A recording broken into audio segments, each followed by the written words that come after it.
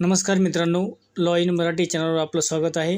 आज आपण भारतीय दंड संहिता म्हणजेच आय पी सी आणि फौजदारी प्रक्रिया संहिता म्हणजे सी आर पी सी यामध्ये काय फरक आहे ते पाहणार आहोत. तत्पूर्वी तुम्ही आमच्या चॅनलवर नवीन असाल तर आमच्या चॅनलला सबस्क्राईब करा कारण अशाच प्रकारचे कायदेशीर व्हिडिओ आम्ही तुमच्यासाठी आणत असतो. चला तर मित्रांनो आजच्या व्हिडिओला आपण सुरुवात करूया. भारतामध्ये अठराशे चौतीसमध्ये पहिला कायदा आयोग नियुक्त करण्यात आला ज्याचे अध्यक्ष लॉर्ड मेकॉले होते आणि इतरही चार सदस्य होते. भारतीय दंडसंहितेमध्ये एकूण पाचशे अकरा कलमे आहेत तर ते एकूण तेवीस प्रकरणे आहेत. गुन्हेगारी कायद्यामध्ये आय पी सी हा सर्वात मोठा कायदा आहे मित्रांनो. भारतीय दंडसंहिता म्हणजेच या कायद्यामध्ये गुन्हा केल्यानंतर काय शिक्षा आहे याबद्दलची माहिती सांगितलेली आहे. समजा एखाद्या व्यक्तीने चोरी केली असेल तर त्या आरोपीला कलम तीनशे एकोणऐंशी भादवीनुसार शिक्षा सुनावली जाते किंवा एखाद्या व्यक्तीने खून केल्यास त्या व्यक्तीला कलम तीनशे दोन भादवीप्रमाणे शिक्षा दिली जाते. एकंदरीत हा कायदा आपण पाहिला तर या कायद्यामध्ये शिक्षेबद्दलची माहिती सांग आता आपण पाहू फौजदारी प्रक्रिया संहिता एकोणीसशे त्र्याहत्तर.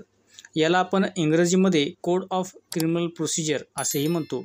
हा कायदा प्रक्रियेबद्दलची माहिती सांगतो समजा एखाद्या व्यक्तीने दुसऱ्या व्यक्तीची हत्या केली असेल तर त्या व्यक्तीविरुद्ध पोलीस हे फौजदारी प्रक्रिया प्रक्रिया संहितामधील कलम एकशे चोपन्ननुसार एफ आय आरची नोंद घेतात. त्यानंतर त्या आरोपीला कलम सत्तावन्न फौजदारी प्रक्रिया संहितानुसार आरोपीला चोवीस तासाच्या आत न्यायालयामध्ये हजर करतात. तुमच्या लक्षात आला असेल मित्रांनो की जेव्हा गुन्हा घडतो तेव्हा पोलीस अधिकारी जे कार्यपद्धती अवलंब अवलंबतात ते फौजदारी प्रक्रियानुसारच त्यांना अटक करावी लागते किंवा न्यायालयात हजर करावे लागते.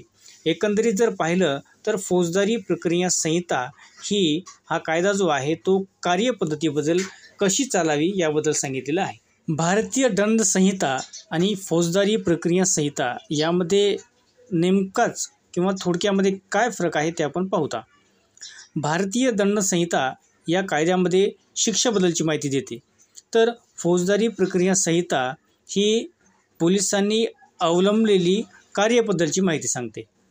एखाद्या व्यक्तीने चोरी केल्यास त्या व्यक्तीला किती शिक्षा आहे हे भारत भारतीय दंडसंहिता सांगते.